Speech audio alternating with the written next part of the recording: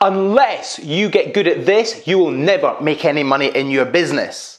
Hey, my name's Alasdair Cunningham. I'm a property entrepreneur, property investor from the UK. Now, I am going to talk to you today about the number one skill that if you do not master, you will always be broke, your business will never make any money, and that is fact. There is no question about that.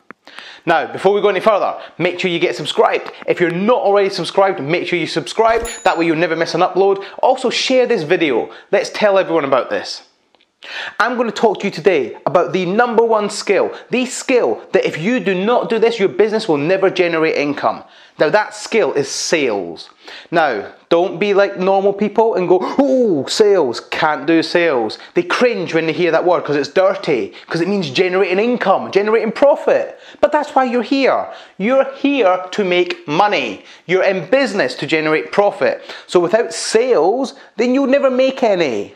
I'm going to talk to you about a system that I was taught by Russell Leeds. A fantastic system how anybody with no prior sales skills can become a sales master just by implementing this system. You could literally take a member of staff who's got no sales experience, never sold a thing, teach them this, show them this, train them on it, work with them, practice, and they will, they will become a sales dog, a sales master. That is what happens. We've implemented this in our business. Russell implemented this in his previous businesses and he'd done it with great success. So today I'm going to talk to you about the winner's sales system. Down the side of the board is the word winner. The first thing, if you don't genuinely believe that your product or your service is the best on the market, then what are you doing? What are you doing? You have to believe, you have to believe that what you offer, what you provide, is the absolute best out there. Nobody else is going to do it better, nobody else is going to provide a better product. So the first thing you've got to do is you've got to be won over yourself that what you sell is absolutely the best. Russell truly believes this. He is won over on his product and his service. When he was in children's entertainment, he truly believed that the magicians and the entertainers that he provided for children's parties were the best in the country. The absolute best. So when he was selling that service, he had no problem selling it. It makes it natural, makes it second nature. It makes it easy to sell when you truly are won over by your product or service. So number one, make sure you get won over. Number two, don't be the salesperson that goes into a sales call and tries to ram stuff down people's throat because all you'll do is you'll piss them off. That is all that will happen. You'll alienate your client base and they will not want to do business with you.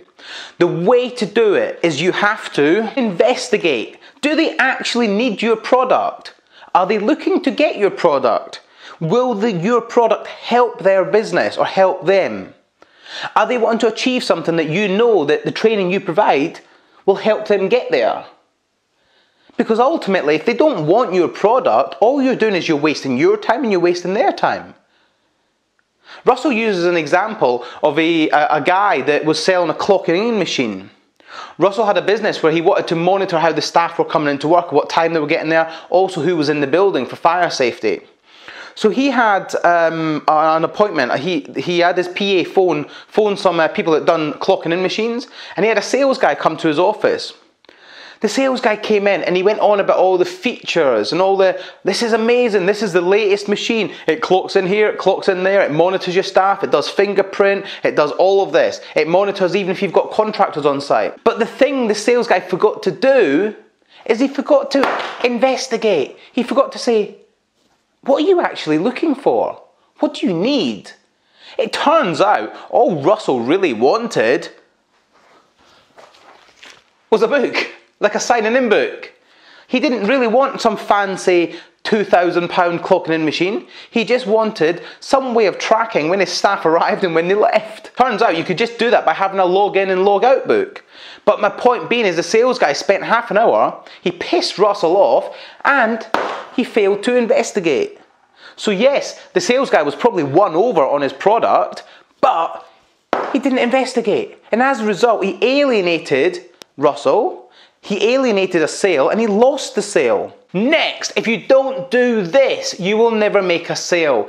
At some point, once you are won over, once you've managed to win the client over on your product, your service, after you've investigated what they need and what they want, and they actually need or want your product, the next thing you've got to do is you do a no-brainer of an offer. An offer where it is just so irresistible that they would have to be dumb not to take you up on it. A no-brainer of an offer is essential whenever you're doing sales. Add so much value to that offer that it makes it such a, do you know what, I have to do this. Therefore, no-brainer. Negotiating. Now, depending on where you stand with when it comes to negotiation, depends how much you're prepared to drop your price. But may, there may be a stance where you have to negotiate on the price. Now, we typically don't negotiate. The reason being is because we really value our product. However, there is exceptions where we will negotiate. It doesn't mean always dropping your price. It mean it could mean adding more value. It might be that the reason they've not gone for your no-brainer of an offer is because you've not added enough value. So perhaps when it comes to negotiation, instead of going down on price, go up on value. Add something extra to the deal. Throw in this, throw in that, but don't go down in price. I never negotiate down on price. Never. I only ever go up on value. Remember that, up on value, never down on price. Eliminate. You're gonna have to eliminate excuses. Eliminate reasons why they can't do it. Because people will always come up with excuses. People say this all the time. You put the, you, you've won them over. You're won over on your product. You've investigated that they need your product. They want your product. They'll use your product. You've put a no-brainer forward. You've negotiated a mind-numbingly great deal for them and then they're going to have questions. They're going to have excuses why they can't do it or why they won't go forward with a deal. A typical one I get is, oh, I've got to speak to my partner. Now, you can do what some people do. I, I, I witnessed a sales guy um, say this to somebody once. Uh, the, the, the person he was trying to sell to said, okay, I need to speak to my wife. And the sales guy said, do you always ask your wife about making decisions or are you not man enough to make them yourself? Like, don't do that because you will alienate the, the client. All you'll do is you'll piss them off and you'll offend them. Don't do that. So the way to handle that is if somebody says to you, okay, I need to go and speak to my wife or my husband, say, okay, that's, no, that's great. Completely understandable. So when do you think you'll be able to do that? Shall I call you on Tuesday? So you've had time to have a conversation with them. Shall I give you a call Tuesday, say nine o'clock, and let's see what she says? That way, they're very likely to say, yeah, no problem, give me a call Tuesday. And then you call them Tuesday at nine o'clock when you said. But don't offend them by saying, what, you're not man enough to make a decision? Do you always ask your wife for decisions? Don't do that, because that will just piss them off and alienate them. Next, repeat. Start at the top. Go back over it. Because if you've got here and they've still not sold, it means you've done something up here wrong. It means you're not truly won over on the product. It means you've not investigated that they actually need the product properly.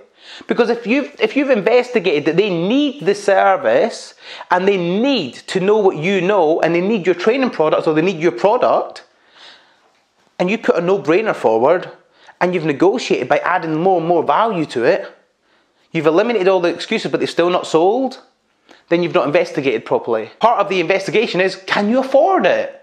Like, because if you've investigated this properly and they, they say, no, I, I, there's no way I can afford this, then you end the conversation there because you're not going to go anywhere down here. There's no point.